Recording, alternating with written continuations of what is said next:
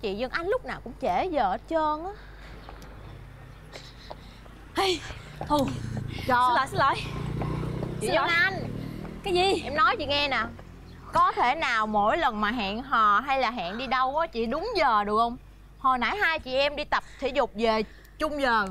Xong rồi em về em thay đồ Em ra đây trước chị 30 phút luôn á giờ chị mới ra. Biết rồi biết rồi biết rồi. Từ từ thì giờ thì chị cũng phải tắm rửa rồi chị cũng phải trang điểm chứ người ta đâu phải tự nhiên mà đẹp rồi trời. Cái gì hôi quá rồi gọi hôi quá chảy nền rồi đây nè thấy không? Trời ơi. đất ơi. Chị hả? Mình chỉ là đi ăn sáng uống cà phê thôi à Chứ đâu phải đi sự kiện đâu mà chị make up lồng lộn chi vậy? Đi em không có hiểu được cái trọng trách của cái người mà đẹp nhất xóm đâu. Lúc nào đi đâu cũng phải đẹp đi ăn sáng cũng phải đẹp. Thậm chí nhiều khi chị đi đổ rác hả chị cũng phải đẹp đó. Nhỏ này. Ờ, thôi coi như là bỏ qua chuyện này đi Hồi nữa chị bao cho em ăn sáng uống cà phê là được rồi. Ủa sao vậy tại sao? Tại vì chị đi trễ thì chị phải bù đắp. thôi, bỏ chưa bỏ đó tôi biết rồi tôi biết rồi. Ok bao nghe nghe không Chị, cứ nghe nè Nghe em siêng năng đi tập thể dục Cái mình thấy mình khỏe khoắn Mình đầy sức sống lên liền luôn. Ừ, chứ sao nữa đẹp ra. Đúng rồi. Ê, em nói nghe nè. Hay là bây giờ chị em mình đổi bộ môn đi.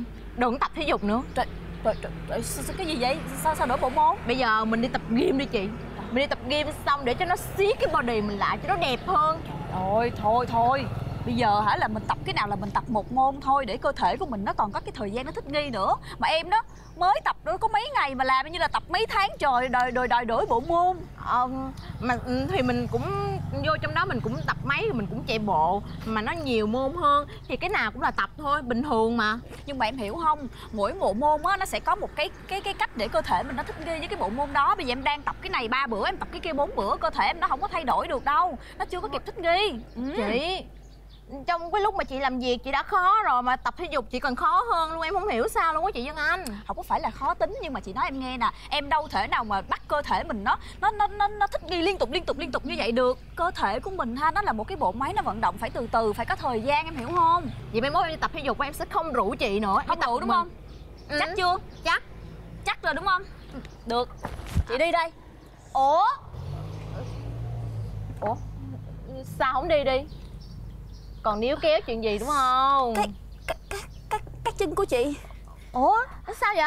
Cái cái bị bị bị bị cái cái. À, thấy rồi nha. Khoan khoan khoan hai người đừng nói gì hết. Hai chị em đừng nói cái gì hết. Để anh đoán nha. Cái hình nền này đồ đẹp nè. Make up xinh. Rồi hai chị em tập thể dục xong bây giờ đi bơi đúng không? Trời ơi make up kiểu này đi bơi là quá hợp luôn á. Anh thấy hợp lắm. Ủa anh hả? đi bơi cần chi make up vậy ờ ờ ờ, vậy mình suy nghĩ cái khác đi. Sao Ủa sao mặt nhăn vậy? Em người yêu của anh đang bị cái gì nè? Mà anh đứng đó anh giỡn hoài luôn á. Ủa bị gì? Cái chân của chị bị gì nè? Con con con chuột. Chuột gì? Có đâu chuột nào ở đây chuột đâu? nào cắn đâu? Chuột rút. Chuột rút cái chân của em. Ủa? Ủa? Em bị chuột rút nữa hả? Thấy chưa? Anh nói rồi em á tập luyện thì tập luyện cho vừa vừa thôi còn nếu như mà cái nào mà tập luyện nhắm không được á thì thôi mình bỏ đi. Đi tập có hai ngày mà một ngày á chuột rút mà chuột rút á hả về than là bị đau nhức nè rồi không vận động được. Đại khái là không làm thêm được một cái công việc gì khác hết đó vậy đâu có đáng đâu để mà tập. Rồi rồi em biết lý do rồi. Tại vì hồi nãy á chị không vận động kỹ đúng không? Hả hả? Hay là vậy ta? Rồi chắc chắn là như vậy luôn. Mà em nghĩ là chị chị chị bị chật chân á chứ không phải chuột rút đâu. Ê, cái gì mà trật chân? Con nhỏ này nói xui vậy. Da. Nhưng mà đau quá đau quá. Nhưng mà ngoài bị chuột rút ra á, em em còn mấy cái triệu chứng gì khác nữa không? Ừ đúng rồi. Chuột rút với lại ờ, triệu chứng khác hả? Ừ. Thì thì lâu lâu á em thấy cái cái cái bắp chân của em nè cái nó bị bị căng căng á nhưng mà em em rờ vô thì không có phải là bị sưng. Với Dạ. lại ờ, dạo này em em hay bị chuột rút nhiều hơn á. Ủa, khoan khoan khoan xoan hả sao anh thấy cái triệu chứng này của em giống như người quen lúc trước của anh bị rồi? Cái gì mà nó liên quan tới khoan khoan đục nè? Cái gì cái cái cái, cái gì mà Cái- khoan đục gì ghê vậy anh? À, không- à hả? chèn ép khoan. Chèn ép khoan hả? Ờ đúng rồi đúng rồi. Lúc trước á anh có người quen cũng vậy đang chơi thể thao nha đang khỏe mạnh cái tự nhiên cái bạn đó mất hẳn đi một thời gian luôn. Cái tụi anh mới tới nhà thăm thì bạn đó nói là bạn đó đi đi đi đi thăm khám bác sĩ á thì bác sĩ chẩn đoán là bạn đó bị chèn ép khoan vậy là em có nguy cơ bị chèn ép khoan rồi đó. Ê, thôi anh đừng có hù em gì mà Ờ. chèn ép khoan nguy hiểm quá vậy. Ờ, em Trời nghĩ là chắc do hồi nãy á, chị Dân Anh tập bị sai động tác nè rồi sai tư thế nên mới bị vậy thôi chứ làm gì mà chèn ép khoan gì ghê quá vậy. Trời ơi, anh nói là anh nói thiệt, anh không có hù em đâu.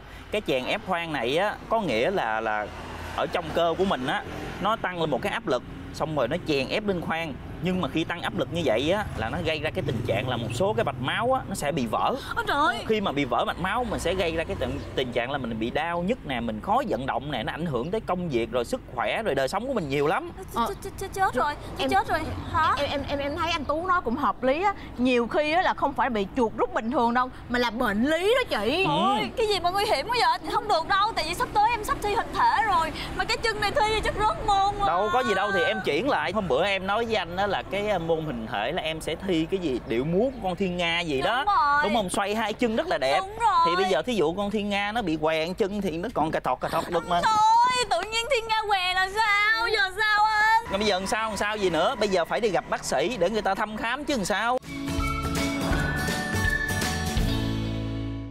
Xin được gửi lời chào đến với tất cả quý vị khán giả. Chúng ta đang cùng nhau đến với chương trình bác sĩ của bạn và cảm ơn quý vị đã luôn dành thời gian quan tâm theo dõi chương trình. À, thưa quý vị, nãy giờ chúng ta theo dõi qua tiểu phẩm, có lẽ quý vị cũng có nghe các nhân vật của chúng ta nhắc đến một cái hội chứng tên là hội chứng chèn ép khoan. Vậy thì quý vị có thắc mắc là ủa hội chứng chèn ép khoan là chèn ép ở cái chỗ nào trên cơ thể của mình không và nó gây nguy hiểm ra sao thì ngay giây phút này chúng tôi mời quý vị cùng lắng nghe phần chia sẻ từ phía thạc sĩ bác sĩ Hoàng Nguyễn Anh Tuấn để chúng ta có thể hiểu rõ về hội chứng này quý vị nhé. Xin chào bác sĩ ạ. Xin chào quý vị khán giả của chương trình à, Bác sĩ của bạn, chào MC Diễm Loan. Thưa bác sĩ, xin bác sĩ có thể cho quý vị khán giả được biết là hội chứng chèn ép khoan là vấn đề gì đang xảy ra với cơ thể chúng ta vậy ạ? Dạ vâng, hội chứng chèn ép khoan á, ở đây là một cái vấn đề à, nguy hiểm trong chấn thương và chỉnh hình. À, nghe nói chèn ép khoan, tức là nói khoan ở đây á là các khoan được bao bọc bởi cân mạc ở trong cơ thể chúng ta. Thì à, là khoan kín, khoan ở đây là khoan kín. À, chỗ nào có khoan thì chỗ đó và có thể gây chèn ép khoan mà thường nhất chúng ta hay gặp là ở vùng cẳng chân tức là bắp chân của mình á À. rồi vùng đùi rồi vùng cẳng tay. Những cái chỗ mà có những cái xương lớn mà dễ gãy. Hội chứng chèn ép khoan thường gặp nhất là ở trong gãy xương. Hoặc là cũng là trong gãy xương nhưng mà có thể là do cái bản thân cái bệnh lý gãy xương nó gây ra cái chèn ép khoan hoặc là do bó bột cũng có thể gây chèn ép khoan sau bó bột. Chèn ép khoan là một cái hội chứng rất là nguy hiểm. Nếu mà chèn ép khoan cấp tính á, trong vòng 6 tiếng đồng hồ mà quá 6 tiếng đồng hồ là có thể dẫn đến hoại tử chi mất chân. Dạ, như vậy thì đây là một cái hội chứng rất là nguy hiểm thưa quý vị. Và khi mà nói tới khoan thì nhiều quý vị cứ nghĩ là à, khoan chắc nó nằm đâu ở cái vị trí ngực của mình à, Nằm ở vị trí bụng của mình. Nhưng mà không phải nha, nó lại xuất hiện ở những cái vị trí chẳng hạn như là chân. Nên là chúng ta phải để ý cái chuyện này. Thưa bác sĩ như vậy thì cái triệu chứng rõ ràng để chúng ta có thể nhận định là Tôi bị hội chứng chèn ép khoan rồi Là những triệu chứng gì ạ? Ừ, triệu chứng rõ ràng nhất của chèn đặc hiệu nhất của chèn ép khoan là đau cái đau rất là dữ dội. Kể cả lúc vận động, kể cả đặc biệt là khi nghỉ, khi để chân, hoặc là tay chân bị chấn thương, bị gãy, bất động rồi, bất động tốt rồi, nhưng vẫn đau. Và cái đau đó là không có gì có thể ngăn lại được, kể cả thuốc giảm đau.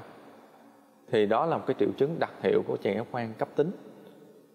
Và kể cả chèn ép khoang mạng tính thì triệu chứng chính vẫn là đau. Nhưng mà cái đau của của mạng tính thì nó có thể nhẹ hơn và phối hợp với những cái triệu chứng co rút gân cơ làm cho tay chân ở trẻ khoan mạng tính á, là có thể tay chân co rút lại. Cũng rất là nguy hiểm. À, thưa bác sĩ như vậy thì việc chúng ta gặp phải hội chứng chèn ép khoan sẽ có những cái mức độ ảnh hưởng khác nhau như thế nào đến với cơ thể ạ? vâng chèn ép khoan á thì à, chúng ta đang nói là hội chứng chèn ép khoan có thể do nhiều nguyên nhân gây ra. Thì một trong những nguyên nhân thường gặp nhất là chấn thương và gãy xương sẽ gây ra những cái chèn ép khoang cấp tính và tùy theo nhiều mức độ. Nếu mà chèn ép khoang cấp tính toàn bộ kéo dài, không xử trí đúng thì có thể dẫn đến hoại tử chi, dẫn đến chúng ta phải cắt cục chi. Đó là cái nặng nhất của chèn ép khoang rồi nếu mà chèn ép khoang một cái khu trú hơn á, không dẫn đến hoại tử toàn bộ chi, thì nó sẽ dẫn đến một cái chèn ép khoang mãn tính, làm mất chức năng cái vùng gân cơ bị chi phối trong cái cái khoang đó dẫn đến những triệu chứng của uh, hội chứng chèo khoan muộn ví dụ như là co rút gân cơ mất chức năng chân tay chân ở những cái vùng mà khoan bị chèn ép đó À, thưa bác sĩ như vậy thì cái việc điều trị cho tình trạng bị hội chứng chèn ép khoan ở chúng ta sẽ cần phải làm những gì ạ? khi mà có những cái triệu chứng mà đau bất thường sau chấn thương cũng như gãy xương tức là tôi nói, tôi nói ở đây là đau bất thường tức là đau mà đau không giảm được. Khi mình đã điều trị, đã uống thuốc giảm đau, đã bất động chi đúng cách rồi, nhưng mà vẫn còn đau, thì chúng ta phải đi đến cơ sở y tế để được chẩn đoán chính xác. Tại vì trẻ khoan này thật ra là cũng rất là khó chẩn đoán chứ không phải dễ nữa. Mà cái tiêu chuẩn vàng để chẩn đoán trẻ khoan là đo áp lực khoan thì chỉ có thể làm được ở những cơ sở y tế.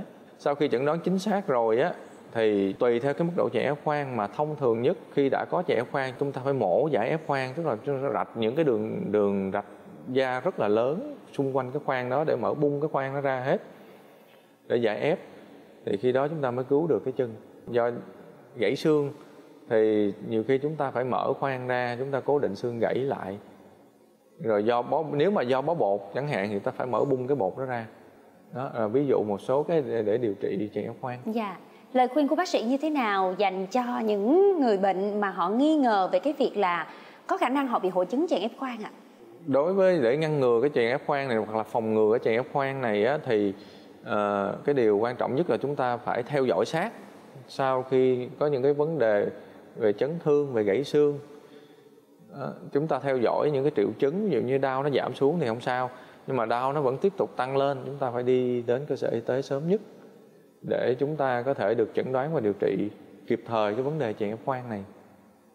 Thưa quý vị, như vậy nghe qua chia sẻ từ phía bác sĩ thì chúng ta sẽ có thể phải lưu ý về cái việc là khi có một cái chấn thương xảy ra ờ, ở những cái khu vực khác nhau trên cơ thể của mình thì chúng ta đi gặp bác sĩ, đó là lần thứ nhất rồi. Chúng ta được sơ cứu rồi, chúng ta đã được tiến hành điều trị rồi. Nhưng nếu về nhà mà chúng ta thấy cái cơn đau đó nó không có sự thuyên giảm đi à, nó không có những cái sự cải thiện hơn mà thậm chí là chúng ta cảm nhận thấy là hình như cơ thể của mình nó đang có những cái phản ứng rất là dữ dội nó đau nhiều hơn nữa và thuốc uống có thành phần giảm đau nhưng hoàn toàn chúng ta không thấy bớt đau. Thì quý vị nên chúng ta nên thật siêng nhé quay trở lại bệnh viện thêm một lần nữa và chia sẻ ngay về những cái triệu chứng của mình và những cái sự nghi ngờ của chúng ta. À, để qua đây thì các bác sĩ sẽ có cái sự thăm khám kỹ hơn và có máy móc để đo lường được cái áp lực ở bên trong khoang của chúng ta để xem là nó có bị chèn ép khoang hay không. Và việc này chỉ thực hiện được ở bệnh viện thôi ở những nơi có máy móc thôi. Nên xin quý vị chúng ta hãy đến đúng nơi uy tín để yên tâm về vấn đề sức khỏe của mình nhé. Xin được cảm ơn bác sĩ đã dành thời gian đến với chương trình ạ còn bây giờ thì chúng tôi xin được nói lời chào tạm biệt. Hẹn gặp lại quý vị khán giả trong chương trình bác sĩ của bạn vào sáng mai. Xin chào.